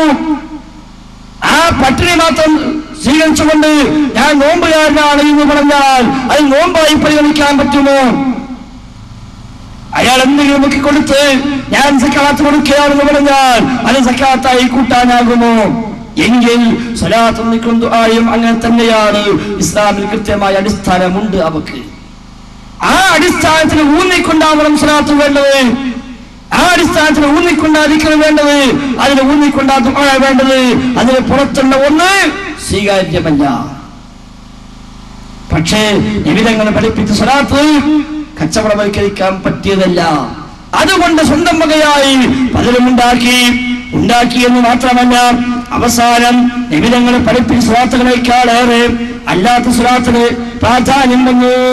ഉദാഹരണമായി നാടിയ സ്വലാത്ത് ആരുണ്ടാക്കി എന്ന് ചോദിച്ചാൽ എല്ലാവരും പറഞ്ഞുതരും എണ്ണൂറുകളിൽ മൊറോക്കോയിൽ ജീവിച്ച ഇബ്രാഹിം എന്ന മനുഷ്യനുണ്ടാക്കിയത് ഹിജറ എണ്ണൂറുകളിൽ അഥവാ അറുന്നൂറ് കൊല്ലം മുമ്പ് മൊറോക്കോയിൽ ജീവിച്ച ഇബ്രാഹിം ഉന്നാസി അയാളാ ഉണ്ടാക്കിയത്. അവസാനം എല്ലാ ആശ്രാത്തിനേക്കാളുമേറെ പ്രാധാന്യം ആശ്രാത്തിനായി മാറി. നിബിധങ്ങൾ ചൊല്ലിയ ചൊല്ലാൻ പറഞ്ഞ സഹാബാക്രാം ചൊല്ലിയ താപിഴികൾ ചൊല്ലിയ നൂറ്റാണ്ട് പതിനാല് കാലമായി മുസ്ലിമീങ്ങൾ പരിചയപ്പെട്ടു പോകുന്ന സ്വലാത്തിനേക്കാളേറെ ഈ സ്വലാത്തിന് സ്ഥാനമായി. അവസാനം മുസ്ലിം എഴുതി വെച്ചത് തഫ്രീജിയായ സ്വലാത്ത് പലതിൽ നാരീയത്തന്നൊരു പേരതിന് പ്രസിദ്ധമാം. നാരിയ എന്ന് പേരുള്ള തഫ്രീജിയായ സ്വലാത്ത് അത് പലതിനേക്കാളും മെച്ചപ്പെട്ട സ്വലാത്താണ്. എന്താ സവിശേഷത? ഇത് ഓരുന്ന പക്ഷം സംശയം ഇല്ലാതെ കൈവരുമേ ജയം. ഇത് സ്ഥിരമായി ചൊല്ലുകയാണെങ്കിൽ എന്നും ചൊല്ലിപ്പോരുകയാണെങ്കിൽ ഒരു സംശയമില്ല ലക്ഷ്യത്തിലേക്ക് എത്താൻ കഴിയും വിജയത്തിലേക്ക് എത്താൻ കഴിയും. റബ്ബിന്റെ നിധിയിൽ പെട്ട നിധിയും ഒന്നിതാ. കൂടാതെ ഖജനാവിന്റെ താക്കോലും ഇതാ. റബ്ബിന്റെ നിധിയിൽപ്പെട്ട നിധിയാണ് ഇതാവുന്നത്. ഞാനിയാസ്ലാത്ത് റബ്ബിന്റെ നിധിയിൽപ്പെട്ട നിധിയാണ് മാത്രവുമല്ല ഖജനാവിന്റെ താക്കോലാണ്. അള്ളാഹുവിന്റെ ഖജനാവ് തുറക്കാനുള്ള താക്കോലാണ് നാലിയാസ്ലാത്ത് ആ താക്കോൽ കണ്ടുപിടിച്ചതായ അറുന്നൂറ് കൊല്ലം മുമ്പ് മൊറോക്കോക്കാരൻ. റസൂൽ ആ താക്കോൽ കിട്ടിയിട്ടില്ല. സഹേബാക്കാൻ ആ താക്കോൽ കിട്ടിയിട്ടില്ല. സംശയമുള്ള ഏതൊരാൾക്കും ഏത് ഉസ്താദിനും പോയി ചോദിക്കാം. ഉസ്താദ് ഇങ്ങനെ കേട്ടല്ലോ ഇങ്ങനെ മഹാഭിവ പ്രസംഗത്തിന് അവർ പറഞ്ഞത് നാരിയാസ്രാത്ത് നിമിതങ്ങൾ ചൊല്ലിയിട്ടില്ല എന്നാണ് സഹാബാക്കിറാൻ ചൊല്ലിയിട്ടില്ല എന്നാണ് ശരിയാണോ ഉസ്താദ്? ശരിയല്ല എന്നാണെങ്കിൽ നിമിതങ്ങൾ നബിതങ്ങൾ നാരിയാസ്രാത്ത് ചൊല്ലി എന്ന് എവിടെയാ ഉള്ളത്? ഖുർആാനിൽ ഉണ്ടോ? ഹദീസിൽ ഉണ്ടോ? ഉണ്ടെങ്കിൽ ഉസ്താദ് ഒന്ന് എഴുതി തരൂ. കൊണ്ടുപോയി കൊടുക്കട്ടെ അവിടെയുള്ള വഹാബികൾക്ക് എന്ന് പറഞ്ഞ് ധൈര്യമായി വാങ്ങാം നിങ്ങൾക്ക്. ഒരൊറ്റ ഉസ്താദിനും സാധ്യമല്ല. ഏത് ഉസ്താദിനും സാധ്യമല്ല? ആഴ്ചക്കും മാസത്തിനും സ്ലാത്ത് ഉണ്ടാക്കി. ഞാൻ ഈ ആ സ്ലാത്ത് നാനൂറ്റി നാൽപ്പത്തിനാലും നാനൂറ്റി നാൽപ്പത്തിനാലും ഒക്കെയായി. ചൊല്ലിപ്പിക്കുന്ന ഉസ്താദുമാരോട് ചോദിക്കുക. ഒരു വഹാബി പറയുന്നത് കേട്ടു എങ്ങനെ ഈ സ്ലാത്ത് ചൊല്ലിയിട്ടില്ല എന്ന് സഹാബത്ത് ചൊല്ലിയിട്ടില്ല എന്ന് താബികൾ ചൊല്ലിയിട്ടില്ല എന്ന് ശരിയാണോ ഉസ്താദ്? ഷാഫി ഇമാം ചൊല്ലിയിട്ടില്ല എന്നാ പറയുന്നത്? അബു ഹനീഫ് ചൊല്ലിയില്ല എന്നാ പറയുന്നത്? ഇമാം മാലിക്കും ചൊല്ലിയില്ലെന്നാ പറഞ്ഞത്? ഇമാം അഹമ്മദും ചൊല്ലിയില്ല എന്നാ പറഞ്ഞത്? ഷെയ്ഖ് അലിയായോ ഷെയ്ഖ് അലിഫായോ ഈ ഇസ്ലാത്ത് ചൊല്ലിയിട്ടില്ല എന്ന് വഹാബികൾ പറയുന്നു. അത് ശരിയാണോ ഉസ്താദേ? അല്ലെങ്കിൽ അവരൊക്കെ ചൊല്ലി ഇനി എവിടെയുള്ളത്? ഒന്ന് എഴുത്തൊരു കൊണ്ടുപോയി കൊടുക്കട്ടെ മഹാബിയൊക്കെ ഇൻഷാ അല്ലാ അങ്ങനെ കിട്ടിയാൽ വേണ്ടി വന്നാൽ ഈ പ്രദേശത്ത് വീണ്ടും മൈക്ക് കെട്ടി ഈ പറഞ്ഞതിന് മാപ്പ് പറയാൻ ഞങ്ങൾ ഒരുക്കവാൻ സംശയമേതില്ല. കാണാൻ കഴിയില്ല ഞങ്ങൾ എവിടെ പോയി അന്വേഷിച്ചാലും. സാക്ഷാൽ ഖലീൽ ബുഖാരിയോട് ചോദിച്ചാലും ശരി ഈ സ്വലാത്ത് നബിയും സഹാബത്തും താബികളും ചൊല്ലിയത് ഒരു ഏകതരാൻ അവരെ കൊണ്ട് സത്യമല്ല സത്യമാണ് പിന്നെ എന്തേ അവർ ചൊല്ലി? പിന്നെ എന്തേ വലിയ വലിയ ഉസ്താദുമാര് വലിയ വലിയ പണ്ഡിതന്മാര് അവർക്കൊന്നും അറിയില്ലേ നിങ്ങളുടെ വഹാബികൾക്ക് മാത്രമാണോ ഇത് മനസ്സിലായത്? ഈ വലിയ വലിയ ഉസ്താദുമാർക്ക് ഇതൊന്നും മനസ്സിലായില്ല എന്ന് ചോദിക്കുന്ന ആളുകളുണ്ട്. ഞങ്ങൾ വിചാരി മനസ്സിലാക്കുന്നത് അവർക്ക് ആർക്കും മനസ്സിലാവാത്തത് കൊണ്ടല്ല എന്നാണ്. പിന്നെന്തേ? അവർക്ക് സ്വരാത്രി എന്നത് കച്ചവട വസ്തുവാണ്. അതൊരു ബിസിനസ്സുകളും വഴിയാണ്. സ്വലാത്ത് മാത്രമല്ല സ്വലാത്ത് നിൽക്കുന്നതായും ആ പ്ലേറ്റിൽ പിന്നെ പലതും അവർ കച്ചവടമായി മാറി. സംശയമുണ്ടെങ്കിൽ ഹമീദ് പൈസ അമ്പലക്കിടവ് പറഞ്ഞു തരും. ഏതൊക്കെ രൂപത്തിലാണ് ഇവിടെ മുസ്ലിയാക്കന്മാര് ദീന വ്യക്തി ആശാക്കുന്നു എന്ന് അദ്ദേഹം തന്നെ പറയട്ടെ. ശ്രദ്ധിച്ചോളൂ നിങ്ങൾ. കാരണം എന്റെ പ്രിയപ്പെട്ടവരെ അദ്ദേഹം ഒരു പണ്ഡിതനല്ല പണ്ഡിത വേഷധാരിയ. ഇത് വെറുതെ പറയുന്നതല്ല അനുഭവത്തിന്റെ വെളിച്ചത്തിൽ പറയുന്നതാ. ഇദ്ദേഹത്തിന്റെ ചരിത്രം പരിശോധിച്ചാൽ ഇദ്ദേഹം അള്ളാഹുവിന്റെ ദീനിൽ ഹുർമത്ത് കൽപ്പിക്കപ്പെടേണ്ട എന്തൊക്കെയുണ്ടോ അതൊക്കെ വിറ്റ് കാശാക്കിയ മനുഷ്യനാണ്. സ്വലാത്ത് വിറ്റ് കാശാക്കിയ മനുഷ്യനാണ്. യത്തീമക്കളെ വിറ്റ് കാശാക്കിയ മനുഷ്യനാണ്. അള്ളാഹുവിന്റെ പള്ളികൾ വിറ്റ് കാശാക്കിയ മനുഷ്യനാണ്. ആദരണീയരായ അഷ്റഫുൽ ഹൽക്ക് മുഹമ്മദ് മുസ്തഫ സുല്ലാസ്മ തങ്ങളുടെ മുടിയോടുള്ള ബഹുമാനം പോലും ചൂഷണം ചെയ്തുകൊണ്ട് തന്റെ മുടി കാരന്തൂരിൽ വർക്കസിൽ വെച്ചുകൊണ്ട് ഇത് റസൂർലാന്റെ മുടിയാണെന്ന് പറഞ്ഞുകൊണ്ട് അത് മുക്കി വെള്ളം കൊടുക്കുന്ന ഏറ്റവും വലിയ നീചമായ ഹീനമായ കൃത്യം ചെയ്തുകൊണ്ടിരിക്കുന്ന മനുഷ്യനാണ് സാക്ഷാൽ കാന്തപുര അബൂബക്കർ മുസ്ലിയ വളരെ മോശമാണ് അദ്ദേഹത്തിന്റെ പ്രവർത്തന രീതികൾ. അദ്ദേഹം അപ്പൊ എല്ലാം കച്ചവടമാണ്. കച്ചവടമായി സ്വലാത്ത് കച്ചവടമായി പ്രാർത്ഥന കച്ചവടമായി വിവിധങ്ങളുടെ മുടിയാണെന്ന പേരിൽ സ്വന്തം മുടി പോലും കച്ചവടമാക്കി. ആവർത്തിച്ചാവർത്തിച്ച് ആവർത്തിച്ച് ഇപ്പോഴും നടക്കുക. ഒരുപക്ഷെ ഈ ശബ്ദം കേൾക്കുന്ന ആളുകളും ഉണ്ടാകാം. ആ മുടിമുക്കി വെള്ളം കുടിച്ച ആളുകൾ ഇടയ്ക്കിടെ പത്രങ്ങളിൽ കാണാം. ഇരാസ്രാജ് പത്രം രണ്ടായിരത്തി ആറ് ഏപ്രിൽ സിറാജ് പത്രത്തിന് വലിയ പരസ്യം എന്താ? തിരുനബിയുടെ കേശ പ്രദർശനവും പ്രവാചക പ്രകീർത്തനവും ഇന്ന് മർക്കസിൽ തിരുനബിയുടെ കേശ പ്രദർശനം കേശമെന്ന മുടി?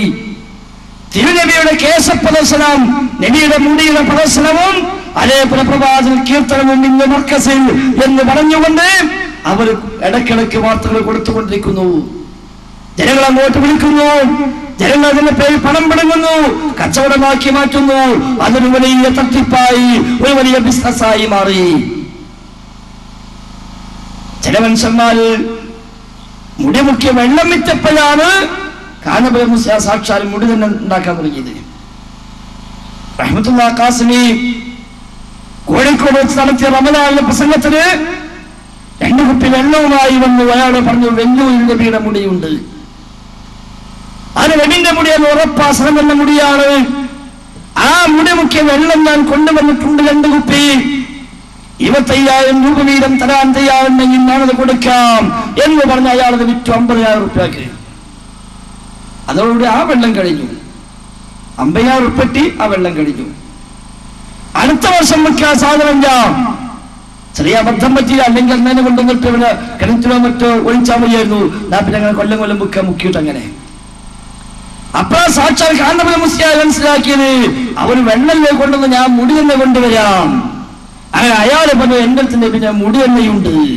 ആ മുടി പ്രദർശിപ്പിച്ചുകൊണ്ട് അതിന്റെ പേരിൽ ഇടക്കിടക്ക് പണമുണ്ടാക്കിക്കൊണ്ടിരിക്കുന്നു അപ്പൊ മറ്റൊരു കാസു അപ്പ ഈ പറഞ്ഞതൊക്കെ ഇത് കച്ചവടാന്നുള്ളത്. ഇനി കാസിമിനെ കച്ചവടം. കാസിമി മുടി കൊണ്ടുവന്ന് കച്ചവടം നടത്തുന്ന ഏർപ്പാട്. അത് കണ്ടോളൂ. ലോകത്തിന്റെ നാനാഭാഗത്തും ലോകത്തിന്റെ നാനാഭാഗത്തും ഈ മുടി വിതരണം ചെയ്തിട്ടുണ്ട്. ഈ ലോകത്തിന്റെ നാനാഭാഗത്തും ഈ മുടിയുണ്ട്. വെല്ലൂരിലുണ്ട്. സാന്ദർഭികമായി പറയട്ടെ. വെല്ലൂരിൽ നിന്ന് സനദുള്ള ഹബീബായ റസൂള്ളയുടെ മുടിയിൽ വെള്ളം കുടിക്കൽ സ്വഹാബികളെ പതിവാണ്. റഹ്മത്തുള്ള വെറുതെ പറയുകയല്ല. വെല്ലൂരിൽ നിന്ന് ഹബീബായ റസൂള്ളാന്റെ മുടിയിട്ട സനദുള്ള വെള്ളം ഇവിടെ കൊണ്ടുവന്നിട്ടുണ്ട്.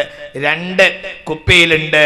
അത് ദാറുൽ ഖുർആാനിലേക്ക് ഇരുപത്തയ്യായിരം രൂപ വീതം തെയ്യാൻ ഈ ചെയ്യാൻ ഈ സദസ്സിൽ ആൾ ആർക്കെങ്കിലും താല്പര്യമുണ്ടെങ്കിൽ വാവാട് സ്ഥലം അവർക്കത് നൽകുന്നതാണ്. രണ്ട് കുപ്പി വെള്ളം രണ്ട് ബഹുമാനപ്പെട്ട ഹബീബായ റസൂലുള്ളാഹി സല്ലല്ലാഹു അലൈഹി വസല്ലം സനദുള്ള വെല്ലൂരിൽ നിന്ന് കൊണ്ടുവന്ന വെള്ളാണ്. സനദുള്ള വെള്ളാണ്. എന്തെങ്കിലും തോന്നിയത് പറയല്ല. വെല്ലൂരിൽ നിന്ന് കൊണ്ടുവന്നതാ. ഇത് ഇന്നും വെല്ലൂരിൽ നിലനിൽക്കുന്നുണ്ട്. ഹബീബായ നബിയുടെ മുടി വെല്ലൂരിലുണ്ട്. ഉണ്ടല്ലോ നിങ്ങൾ ചിന്തിക്കണം. ഞാൻ കണ്ടിട്ടുണ്ട് ബാലു ഷരീഫ് ഹബീബായ നബിയുടെ മുടി എന്ന് പറഞ്ഞിട്ട് ജാമിയ മസ്ജിദിൽ ഡൽഹിയിൽ പലവട്ടം ഞാൻ പോയി കണ്ടിട്ടുണ്ട്. എല്ലാ നിസ്കാര അസർ നിസ്കാര ശേഷം ഒരു ലേശ നേരം പ്രദർശിപ്പിക്കും. സുബഹി നിസ്കാര. അപ്പൊ കണ്ടോ രണ്ടു കുപ്പി വെള്ളവുമായി വന്നു. അമ്പതിനായിരം രൂപക്ക് ഇരുപത്തയ്യായിരം വീതം തരാൻ തയ്യാറുണ്ടെങ്കിൽ കൊടുക്കാന്നാ പറഞ്ഞത്. അങ്ങനെ മുടിയോ ആ മുടി മുഖ്യ വെള്ളം ഉണ്ടെങ്കിൽ അത് ആദ്യം കൈവശപ്പെടുത്തേണ്ടത് അഹമ്മദ്സിനിയല്ലേ അമ്പതിനായിരം അല്ല അമ്പത് ലക്ഷം കൊടുത്താലും സ്വന്തമാക്കിയല്ലേ വേണ്ടത്? അത് കൊണ്ട് കച്ചവടം ചെയ്യുകയോ? മുജാഹിദനെ പറഞ്ഞുള്ളൂ എവിധങ്ങളെ മുഴുക്ക് സവിശേഷതയുണ്ട് തർക്കമില്ല. ആ മുടി മുഖ്യ വെള്ളം സഹാബാക്കിറാം ഉപയോഗിച്ചിട്ടുണ്ട്. അഭിപ്രായ വ്യത്യാസമില്ല.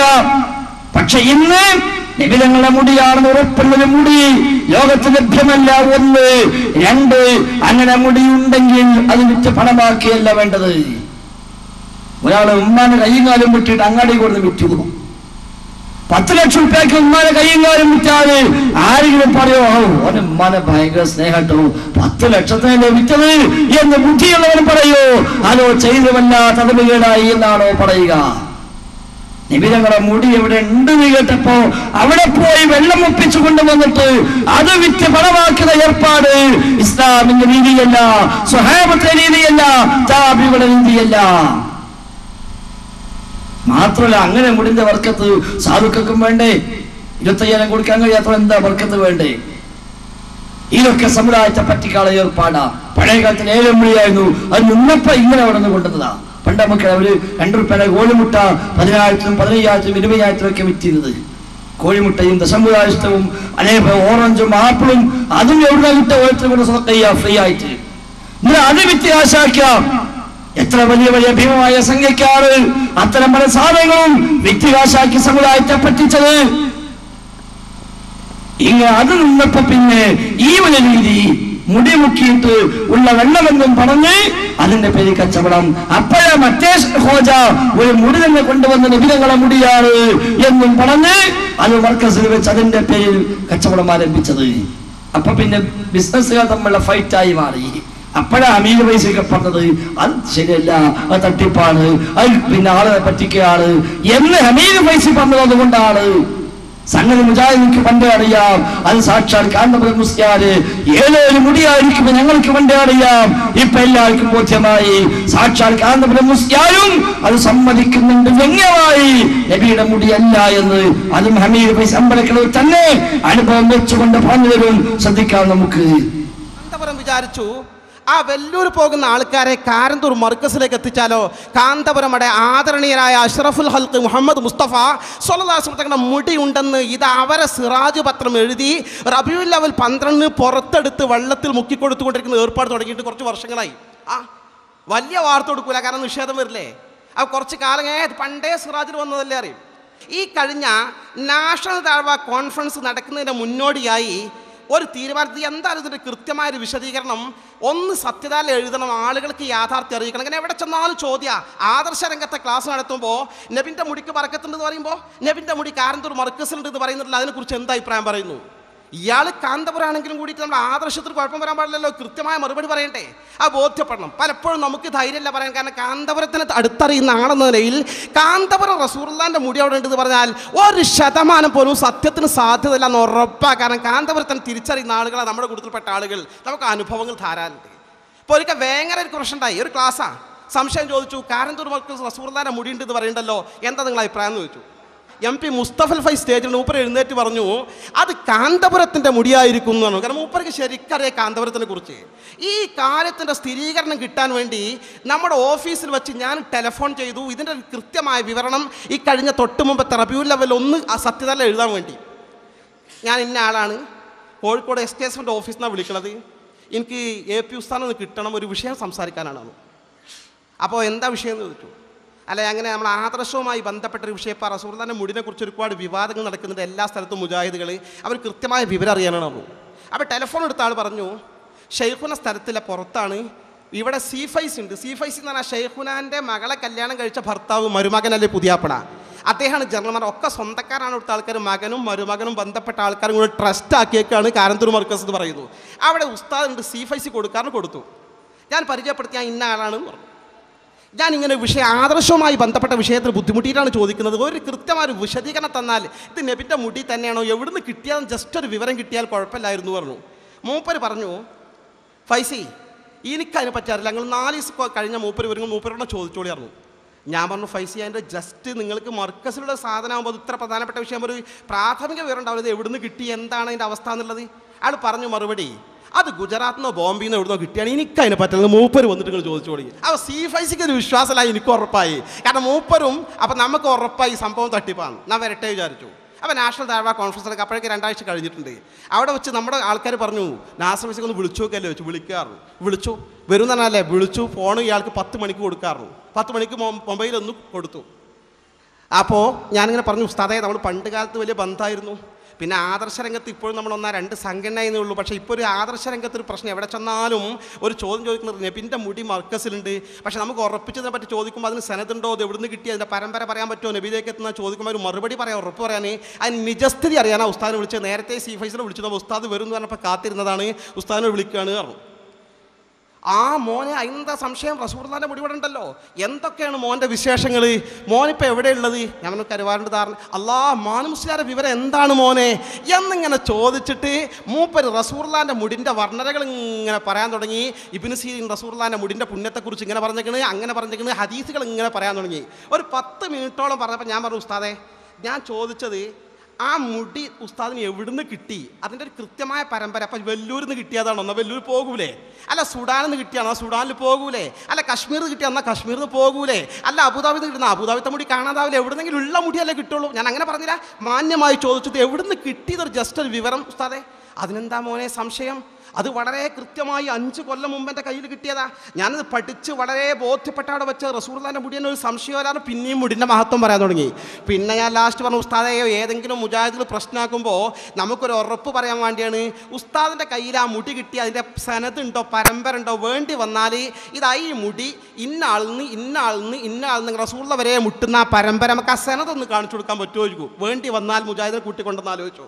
ആ മൂപ്പര് പറഞ്ഞു ചിരിച്ചിട്ട് ഭയങ്കര ആളല്ലേ? അല്ല മോനെ എങ്ങനെയാണ് സനത്തിലുള്ള ആൾക്കാരെ കാണിച്ചു കൊടുക്കുക? അവരൊക്കെ മരിച്ചു പോയില്ലേ പറഞ്ഞു. അപ്പം ഞാൻ പറഞ്ഞു ഉസ്താദേ ഞാൻ അതല്ല ചോദിച്ചത് നിങ്ങൾക്ക് തന്നെ അറിയാലോ. ആ സനത്ത് എഴുതി വെച്ചിട്ട് ഫോട്ടോ ഇപ്പോൾ ജസ്റ്റ് എടുത്ത് തന്നൂടെ. ഇല്ലെങ്കിൽ വേണ്ട ഒരു പ്രശ്നം ഉണ്ടായ എന്താ ചെയ്യാന്ന് ചോദിച്ചു ഒരു വിവാദം ഞാൻ ഉറപ്പിച്ച് പറഞ്ഞാൽ പറഞ്ഞു. മോൻ അങ്ങനത്തെ ആൾക്കൊരു പ്രശ്നം കൂട്ടി നമുക്ക് സനത്ത് കാണിച്ചു കൊടുക്കാറുണ്ട് എന്നാൽ ശരി അസ്ലാമിലേക്ക് ഫോൺ വെച്ചു. പിന്നെ പത്ത് മിനിറ്റ് കഴിഞ്ഞാണ് മൂപ്പര് തിരിച്ചു വിളിക്കുന്നത്. തിരിച്ച് വിളിച്ചിട്ട് ഓഫീസിൽ നമ്പറിലാണ് വിളിച്ചിട്ട് എന്നെ ചോദിച്ചു. അപ്പോൾ ചെന്ന് ഫോൺ എടുത്തു. പിന്നെ നേരത്തെ ഫോൺ കട്ടായതാണ് ഒരു കട്ട് പോയിട്ടില്ല പച്ച കളവ്. ഞാൻ കളവ് എന്ന് പറഞ്ഞാൽ വാസ്തവിരുദ്ധം എന്നറിയാം മാന്യതയ്ക്ക് നടക്കാത്ത കാര്യമല്ലേ ഇയാൾ പറയാണ് ഫോൺ കട്ടായത് പിന്നെ ഒരു കാര്യം കൂടി പറയണ്ടേ. മുജാഹിദ് മോന് ജമാഅത്തിറന്ന് വിവാദം ഉണ്ടാക്കിയാണ്ട് അതിന് സനത് കാണാൻ അങ്ങോട്ട് കൂട്ടിക്കൊണ്ടുവരണ്ട. അവർ എത്ര ഹക്ക് പറഞ്ഞാലും ബോധ്യപ്പെടാത്ത ആളുകളാണ് പിന്നെ ഒരു വാജിബിന്റെ ഹറാമിന്റെ പ്രശ്നമൊന്നുമല്ലല്ലോ. ഇത് തബറുക്കിന്റെ പ്രശ്നമാണ് ഇഷ്ടമുള്ള ആൾക്കാർ തബറുക്ക് എടുത്തോട്ടെ. അല്ലാത്ത ആൾക്കാർ എടുക്കണ്ട. മോൻ അങ്ങനത്തെ ആൾക്കാർ അങ്ങോട്ട് കൂട്ടിക്കൊണ്ടുവരണ്ട എന്ന് സാക്ഷാൽ കാന്തപുരം അബൂബക്കർ മുസ്ലിയാർ പറഞ്ഞതിലൂടെ വളരെ കൃത്യമായി ബോധ്യപ്പെട്ട ഒരു കാര്യമുണ്ട്. ആദരണീയരായ അഷറഫുൽ ഹൽക്ക് മുഹമ്മദ് മുസ്തഫ സ്വലാസം തങ്ങളുടെ വിശുദ്ധ കേശത്തിന്റെ പേര് പോലും വ്യാജമായി കെട്ടിച്ചമച്ചുണ്ടാക്കി ആ പേര് പോലും ദുരുപയോഗം ചെയ്ത് ഒരു കെട്ട് മുടി അവിടെ വെച്ചുകൊണ്ടാണ് റസൂർദാന്റെ മുടിയാണ് പ്രചരിപ്പിച്ചിരുന്നത്. ഒരൊറ്റ കാര്യം ഓർക്കുക. കച്ചവടം. സാക്ഷാൽ തന്നെയും വ്യംഗ്യമായി സമ്മതിക്കുന്നു. ആ മുടിക്ക് സനത കൊടുക്കാൻ കഴിയില്ല. സനത കാണിച്ചു കൊടുക്കാൻ കഴിയില്ല. കാരണം ഉണ്ടെങ്കിലേ കാണിച്ചു കൊടുക്കുക. പക്ഷെ എല്ലാ സ്ഥലത്തും മുജാഹിദും ചോദ്യം ചെയ്തപ്പോൾ അവസാനം മുടിയുണ്ടാക്കിയ മുസ്ലിയാര് സനതും വ്യാജമായി ഉണ്ടാക്കിയിട്ടുണ്ട്. ഇപ്പൊ ചില കുട്ടികളൊക്കെ വന്നിട്ട് സനത് വായിക്കുന്നുണ്ട്. മുടി കിട്ടിയത് ഇന്നാളിൽ നിന്നാണ്. അയാൾ കിട്ടിയത് ഇന്നാളിൽ നിന്നാണ്. അയാൾ കിട്ടിയത് ഇന്നാളിൽ നിന്നാണ് എന്ന് പറഞ്ഞ് വിവരേ മുട്ടുന്നൊരു പരമ്പര. ഒരു മുടി ഉണ്ടാക്കിയവരെ പിന്നെ സനത് ഉണ്ടാക്കാൻ പാടില്ലല്ലോ. ഈ രൂപത്തിലാണ് സമുദായത്തെ പറ്റിക്കുന്നത്. ചോദ്യം ചെയ്താൽ പറയും കണ്ടോ? നിമിതങ്ങളുമായി ബന്ധപ്പെട്ട സവിശേഷത അത് ചോദ്യം ചെയ്യുന്നുവെന്ന് പറയുക. ഞാൻ നേരത്തെ പറഞ്ഞുവല്ലോ നിമിതങ്ങളുടെ മുടിക്ക് പ്രത്യേകത ഇല്ല എന്ന് മുജാഹിദ് എവിടെയും പറഞ്ഞിട്ടില്ല. പറയുകയുമില്ല പറയാൻ സാധ്യവും അല്ല. ബുഖാരി മുസ്ലിം അടക്കമുള്ള ഇമാമികൾ തങ്ങളുടെ സ്വഹേകൾ രേഖപ്പെടുത്തിയ ധാരാളം അതീതകളിൽ നിമിതങ്ങളുടെ വിയർപ്പിന്റെയും തുപ്പനീരിന്റെയും മുടിയുടെയും കുപ്പായത്തിന്റെയും ഒക്കെ സവിശേഷങ്ങൾ ധാരാളം വന്നിട്ടുണ്ട്. നബിയുടെ അഭിപ്രായം മുക്കിയ വെള്ളം രോഗസമയത്തിനായ സ്വഹാബാക്കൾ ഉപയോഗിച്ചത് ഇമാം ഹായി രേഖപ്പെടുത്തിയിട്ടുണ്ട്. പക്ഷെ ഇന്നത് പറഞ്ഞിട്ടുണ്ട് കാര്യം. നബിതങ്ങളെ കുപ്പായം എന്നിവിടെ നിമിതങ്ങളുടെ മുടി ഇന്നെവിടെ? നിമിതങ്ങളുടെ തുപ്പലിയും വിയർപ്പും ഇന്ന് കിട്ടാൻ എവിടെ? പക്ഷെ അതിന്റെ മറവിൽ മറ്റു പല ശേഖന്മാരെയും തുപ്പലിയും വിയർപ്പും കുപ്പായും കൊണ്ടുപോയി അത് വർക്കത്താക്കി സമുദായത്തെ പറ്റി- പറ്റിക്കാൻ ശ്രമിക്കുമ്പോൾ അത് ശരിയല്ല എന്ന് പറയാതിരിക്കാൻ മുജാഹിദ് നിൽക്കാമില്ല പറഞ്ഞത് സ്വലാത്ത് മഹത്വം തന്നെയാണ്. നിമിതങ്ങളുടെ സവിശേഷതകൾ എന്തെല്ലാം സ്വഹിയാനീസുകളിൽ സ്ഥലപ്പെട്ടുവോ അതൊക്കെയും സ്വീകാര്യം തന്നെയാണ്. പക്ഷെ അതൊന്നും കച്ചവടമാക്കേണ്ടതല്ല. സ്വലാത്ത് കച്ചവടമായി മാറി. കണ്ടോ നിങ്ങൾ ഈ കേസ് എഴുതിയ കൂലിക്കുഴിയിലെ വ്യാജസിദ്ധന്റെ തട്ടിപ്പുകൾ എന്ന പേരിൽ. കൂലിക്കുഴിയിലെ വ്യാജസിദ്ധന്റെ തട്ടിപ്പുകൾ. ഏതാ വ്യാജസിദ്ധൻ കുരിക്കുഴി തങ്ങൾ. കൂലിക്കുടി തങ്ങൾ ആ തങ്ങളെ പറ്റിയാണ് ഈ കേസ് എഴുതിയത്. വ്യാജസിദ്ധനാണ്. അയാൾ തട്ടിപ്പാണ്. അയാൾ അവിടെ ആ നാട്ടിൽ തൃശ്ശൂർ ജില്ലയിൽ കൂലിക്കുടി വന്ന് സ്വലാത്ത് കച്ചവടം ആരംഭിച്ചു. എന്നിട്ട് ഇവർ പറയാ ഒരു സ്വലാത്ത് നിൽക്കുന്ന ശാഖ തുടങ്ങുക അത്ര പ്രയാസമുള്ള കാര്യമല്ല. പക്ഷേ ലാഭകരമാക്കി മാറ്റാനാണ് പ്രയാസം. എന്താ പറഞ്ഞത്? സ്വലാത്ത് നിൽക്കുന്ന ശാഖ ഒരു ബ്രാഞ്ച്. ആര്യസാന്റെ ബ്രാഞ്ച് എന്നൊക്കെ പറഞ്ഞ പോലെ സ്വലാത്ത് നിൽക്കുന്ന ബ്രാഞ്ച്. അത് തുടങ്ങാൻ വല്ല പ്രയാസമൊന്നുമില്ല വലിയ മുടക്കൊന്നുമില്ല പക്ഷെ ലാഭകരമാക്കി മാറ്റാനാണ് പ്രയാസം. തുടങ്ങാൻ എളുപ്പമുണ്ട്. ചെറിയ കൂട്ടി സൂട്ടിച്ചാൽ മതി. ഈ ആഴ്ച മുതൽ എല്ലാ തിങ്കളാഴ്ചയും സ്വലാത്ത് ഉണ്ടാവും കൂട്ടി ഒട്ടിച്ചാൽ മതി. പക്ഷെ ലാഭമായി മാറാൻ കുറച്ച് പണിയാണ് നാം പറഞ്ഞത് അതിന് പ്രത്യേകമായ ചില നൊട്ടിലൊടുക്ക് വിദ്യകളൊക്കെ പയറ്റണം. സ്ത്രീകളാണ് ഈ മേഖലയിലെ പ്രധാന ഇരകൾ. അവരെയും ശുദ്ധകരിക്കാരായ പാമരന്മാരെയും ആകർഷിക്കണമെങ്കിൽ ഒന്നാമത്തെ വഴി സ്വർഗത്തിലേക്ക് ഡയറക്റ്റായി ടിക്കറ്റ് മുടിച്ചു കൊടുക്കുകയാണ്. സദസ്സിൽ വെച്ച് തന്നെ രോഗങ്ങളും വൈകല്യങ്ങളും മാറ്റുക പരാതികൾക്കും ആവശ്യങ്ങൾക്കും അവിടെ വെച്ച് തന്നെ നിവൃത്തി ഉണ്ടാക്കി കൊടുക്കുക. സ്വന്തക്കാരെയും തന്നെ സഹായിക്കുന്നവരെയുമെല്ലാം റസൂലാന്റെ സഫാത്തിന്റെയും ഹൗലുൽ കൗസർ ലഭിക്കുന്നവരെയും ലിസ്റ്റിൽ അവിടെ വെച്ച് തന്നെ ഉൾപ്പെടുത്തുക. അല്ലാത്തവരെ അതിൽ നിന്ന് തടയുക അത്യുച്ചത്തിൽ പൊട്ടിക്കരയുക തുടങ്ങിയവ ഓരോ നമ്പറുകളാണ്. കണ്ടങ്ങൾ സ്വലാത്ത് കച്ചവടം വിജയിക്കണമെങ്കിൽ പയറ്റാണ് നമ്പത് മാത്രമല്ല മുമ്പിൽ നിൽക്കുന്ന ശേഖരം വേണം ചില വഴികൾ. അതെന്താ പറഞ്ഞത്? ഇയാൾക്ക് ഉണ്ടാവേണ്ട ചില ചില ചപ്പടി വിദ്യകൾ സ്വയത്തമാക്കണം. പച്ച നിറത്തിലുള്ള ഒരു ഷാൾ. കയ്യിൽ തസ്മീഹ മാല. നീണ്ടു തെങ്ങിയ താടി. അല്പം എനിക്ക് സാമർഥ്യം. പേരിനോടൊപ്പം തങ്ങൾ എന്ന് ചെറുക്കാൻ തുണിക്കട്ടെ. അത് ആരുണ്ടായാൽ അയാൾക്ക് സ്രാത്ത് ആരംഭിക്കാന്ന പച്ചശാൽ വന്യത്താടി താടി തങ്ങൾ എന്ന് ചെറുക്കാനുള്ള ധൈര്യം പിന്നെ മിമിക്രി സാമർഥ്യം. ഈ നാലുമുണ്ടോ? അയാൾക്ക് സ്വലാത്ത് കച്ചവടം ആരംഭിക്കാം. അങ്ങനെയാണ് ഈ ഷെയ്ഖ് ആരംഭിച്ചത് ഇതാ. ആരംഭിച്ചത് മാത്രല്ല പൊടി പൊടിച്ചു കച്ചവടം ഉഷാറായി ഉഷാറായി ഇയാൾ റേഷൻ കാർഡിൽ പോലും ഇയാളെ പേരിന്റെ കൂടെ ഇയാൾ തങ്ങൾ എന്ന് എഴുതി ചേർത്തു എന്നാ പറഞ്ഞത്. കേരളനാട് മാസം ഇ കെ കേരളനാട് എന്ന പേരിൽ കെ സുഞ്ഞാളിക്കുന്ന മാസിക രണ്ടായിരത്തി മൂന്ന് ഫെബ്രുവരി മാസം. അവസാനം ഇയാൾ സലാത്ത് കച്ചവടം ഉഷാറായപ്പോൾ ഈ കേസ് എതിർക്കാൻ നൽകിയപ്പോൾ അവർ സലാത്തിൽ വെച്ച് ഇയാൾ പ്രഖ്യാപിച്ചു. എന്താ പ്രഖ്യാപിച്ചത്? ഒരു പൊതുയോഗത്തിൽ ഇയാൾ പറഞ്ഞു എസ് എസ് എഫുകാർക്ക് ഹർദൻ കൗൺസിലിൽ നിന്ന് വെള്ളം ലഭിക്കുകയുള്ളൂ ഏതെങ്കിലും എസ് കെ എസ് എഫുകാരന് അങ്ങ് കൊടുക്കുകയാണെങ്കിൽ കൊടുക്കരുത് എന്ന് പറഞ്ഞ് എന്റെ വല്യപ്പ റസൂലാന്റെ കൈ ഞാൻ തട്ടിക്കളയും. ഇയാളെ പ്രഖ്യാപന. ഹൗലിൽ കൗസർ എസ് എസ് എഫുകാർക്ക് മാത്രം. അപ്പൊ എസ് കെ കാരൻ വന്നാൽ റസൂലാക്കാരിൽ ഇപ്പൊ ഏതാ എസ് കെ ഏതാ എസ് എഫ് മെമ്പർഷിപ്പ് എന്താ ഏതാ തമ്മിൽ വ്യത്യാസം? റസൂലാക്കറിയില്ലല്ലോ അപ്പൊ അതുകൊണ്ട് എസ് കെ കാരൻ വന്ന് എവിടെയെങ്കിലും കൊടുക്കുകയാണെങ്കിൽ ഞാൻ പറയും വല്ലിപ്പ കൊടുക്കണ്ട. അയാൾ എസ് കെ കാരനാണ്. ഇങ്ങ നമ്പർ ഇറക്കിയതാ എന്തെല്ലാം നമ്പർ ഇയാൾ അവസാനം നമ്മൾ പിരിവ് നടത്തി. പിരിവെന്താ കണ്ടോ? കണ്ണീർ ഊറ്റിക്കൊണ്ടിരിക്കുന്ന സ്ത്രീമുഖങ്ങൾ ഓഫീസ് ഘട്ടത്തിന് ഫണ്ട് സ്വരൂപിക്കലാണ്. അന്നത്തെ പ്രധാന പരിപാടി. നിറഞ്ഞ സദസ്സിന്റെ മുമ്പ് ഇയാളുടെ മിമിക്രി തുടങ്ങി. കരച്ചിലും പിടിച്ചിലും ചരിത്രവും പാരമ്പര്യവും എല്ലാം കൂടി കൂട്ടിക്കുറച്ച് ആകെ കൂടി സ്വർഗം തന്റെ കൺ തന്റെ മുമ്പിൽ വന്നു നിൽക്കുന്നത് പോലെ ആക്കി നിർത്തി നിൽക്കുന്നു. കണ്ണീർ ഊറ്റിക്കൊണ്ടിരിക്കുന്ന സ്ത്രീമുഖങ്ങൾ വിഘടന ഓഫീസ് ഉണ്ടാക്കാൻ സ്വർണം സംഭാവന ചെയ്യുന്നവർക്ക് കൊടുക്കാനുള്ള സ്വർഗത്തിന്റെ ടിക്കറ്റുകളെല്ലാം മേശപ്പുറത്ത് റെഡി. ആ പൈസ കൊടുത്താ വഴിക്ക് സ്വർഗം.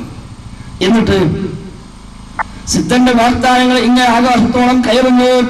സദസ്സിൽ നിന്നുള്ള സംഭാവനകൾ വാങ്ങാൻ ബക്കറ്റ് പിരിവുകാർ നീങ്ങിക്കൊണ്ടിരിക്കുന്നു. പെട്ടെന്ന് സദസ്സിൽ നിന്നൊരു പർദ്ദക്കാരി എഴുന്നേറ്റ് നിന്ന് തന്റെ കഴുത്തിലും കാലിലും ഉള്ള ആഭരണങ്ങളെല്ലാം ഒന്നായി ഊരി ഈ ബക്കറ്റിലേക്ക് ഇടുന്നു. ബക്കറ്റാണ് വന്നപ്പോ ഒരു സ്ത്രീ എഴുന്നേറ്റ് എല്ലാ ആഭരണവും അഴിച്ച് ബക്കറ്റിലേക്ക് ഇട്ടുപോകുന്ന പിന്നെ താമസിച്ചില്ല. പെണ്ണുങ്ങൾ ഓരോരുത്തരും തങ്ങളുടെ ശരീരത്തിൽ നിന്ന് എന്തെങ്കിലും സ്വർണാഭരണമെടുത്ത് ബക്കത്തിലേക്ക് ഇടുവാൻ ബന്ധപ്പെടുന്നു ആ രംഗം ഇവിടെ അങ്ങനെ അവസാനിക്കുന്നു. പിന്നീടാണ് അറിയുന്നത് ആദ്യമിട്ട സ്ത്രീ സിദ്ധന്റെ ഭാര്യ തന്നെയാണ്.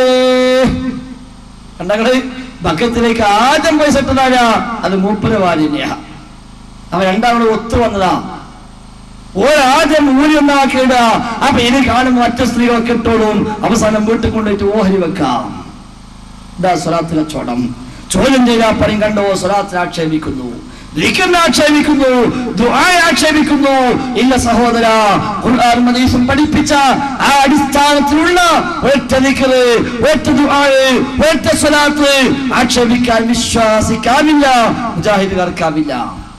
പക്ഷെ അതിന്റെ പേരിൽ ഇത്തരം തട്ടിപ്പുകൾ